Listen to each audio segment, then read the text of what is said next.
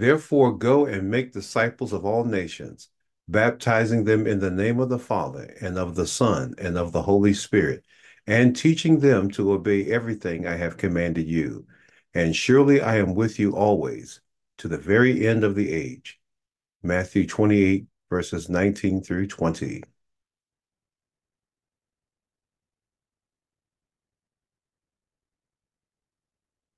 And this water symbolizes baptism that now saves you also, not the removal of dirt from the body, but the pledge of a clear conscience toward God.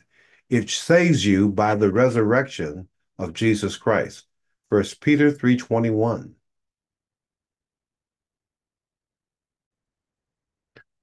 As we talk about baptism, we need to understand that it is a command. It's not an option. Now, we are not saying that if somebody receives Christ and then they're able to get to a body of water to be baptized, that they can't be saved. That is not what we're saying. But we're saying that if you have, and most most of us will, have the opportunity to carry out what Jesus commanded, be baptized. Nobody should be resisting baptism that says that they're a believer. So let's go on. We need to understand that it is a command. Jesus says, Go ye therefore into all the world, to every nation, baptizing in the name of the Father, the Son, and the Holy Spirit. That's exactly what he means. If you're going to obey everything he's taught you, you need to obey baptism.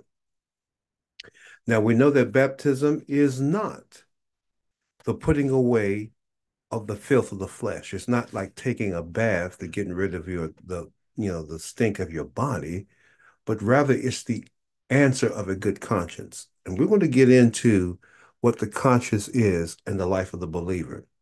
But I just want to make a note of it in passing. When your conscience is purified, you actually have the ability to think like Jesus.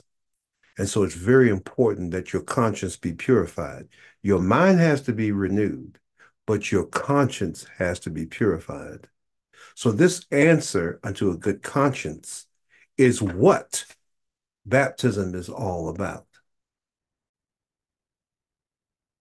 Peter replied, Repent and be baptized, every one of you, in the name of Jesus Christ for the forgiveness of sins, and you will receive the gift of the Holy Spirit.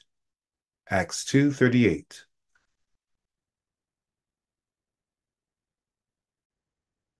Now I want to bring out the scripture so that you can see that upon them receiving Christ, as Peter is preaching the gospel, he's telling them, repent and be baptized and receive Jesus Christ for the remission of your sins. So you see here, baptism is associated with being born again.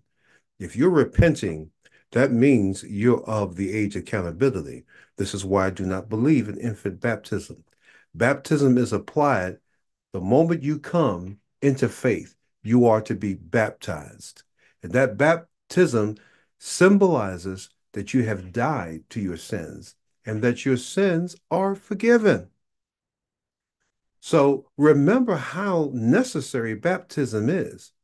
I'm going to say it again. If a person says, Oh, you don't have to be baptized to be saved, he's not obeying the scriptures. The scriptures are clear that we are to be baptized. Do you not know that all of us who have been baptized into Christ Jesus were baptized into his death?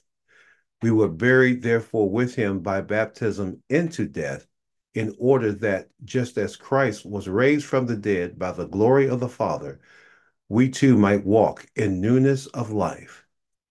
Romans chapter 6, verses 3 and 4. The scriptures are emphatic here it's equating baptism to death. So when you go down into the water, you're saying that you've died to the old life. I'm gonna tell you right now, the baptism of, of, of the baptism in water is very serious. You know, we want to say, oh, the baptism of the Holy Spirit is the only thing important. No, baptism in water is important because this is what you're saying that you're receiving. Not only the remission of sins, but the sin, the sinful lifestyle and thinking you have died to because you were baptized into Jesus' death. So, in other words, when Jesus died on the cross, you died. Because when you're baptized, you're saying that I have entered into Christ's death because he died for me to give me life.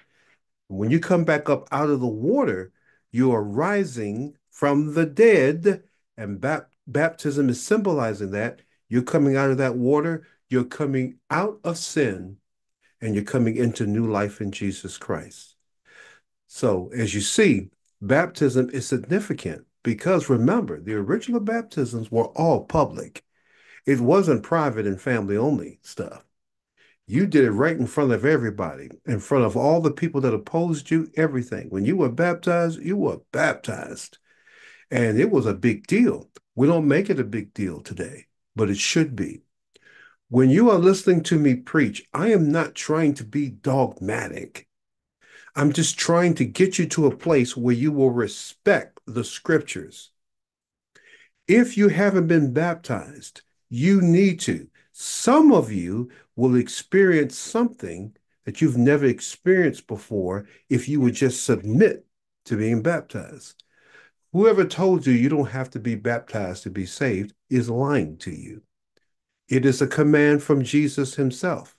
We talked about it in Mark 16.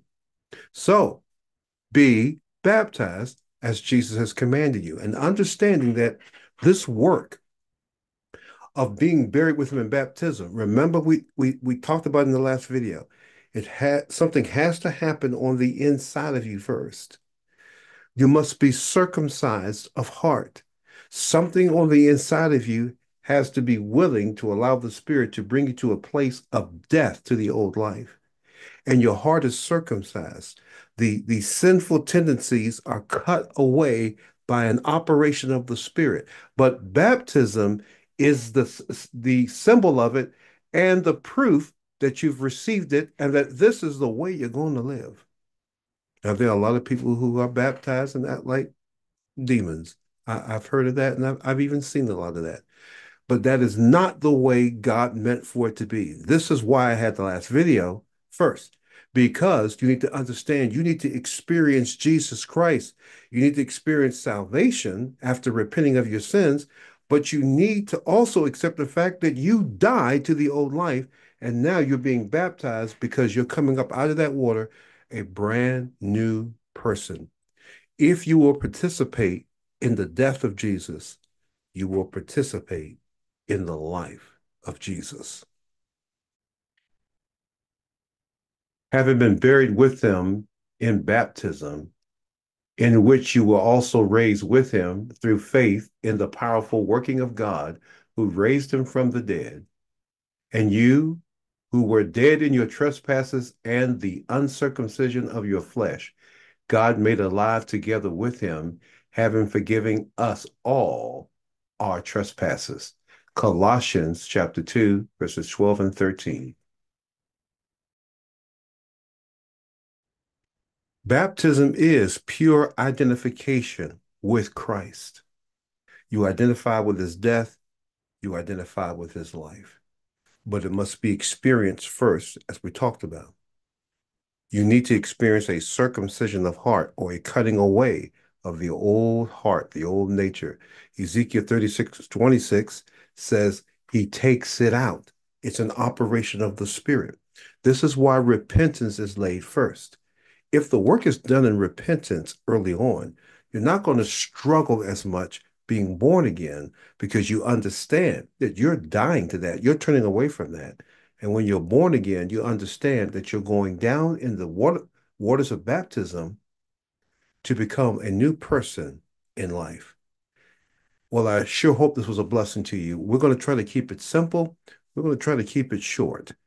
But I want you to understand how serious baptism is.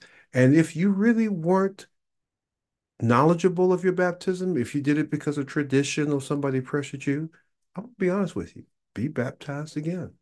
Be baptized according to the faith that you have in Jesus Christ, not according to tradition or what your parents made you do or anything like that because baptism is that important. And I guarantee you, you probably will experience something in your walk that's different because you've submitted to it.